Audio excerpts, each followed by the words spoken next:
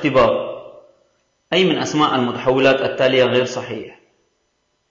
ما هو خرج الكود التالي؟ ما هو خرج العبارة البرمجية التالية؟ ما هو خرج الكود التالي؟ ما هو السطر الذي لا يحتوي تعبير في الكود التالي؟ ما هو السطر الذي يحوي عملية في الكود السابق؟ ما هي القيمة التي سيعيدها الشرط التالي؟ وما هو نمطها؟ الأجوبة. المتحول الثاني غير صحيح لأنه لم يبدأ بمحرف. المتحول الخامس غير صحيح لأنه يتضمن فراغ.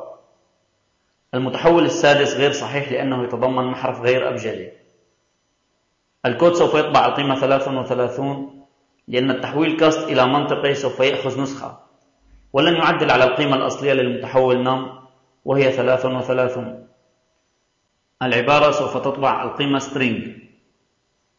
الكود سوف يعيد القيمة 5 لأنه عند تحويل متحول من النوع double إلى النوع integer فإن أي قيمة بعد الفاصلة سيتم حذفها. كلها تعابير لأنها جميعها تحوي أرقام. العبارة 5 مقسومة على 12 تحوي عملية قسمة. سوف يعيد القيمة false وهي من النمط المنطقي بوليان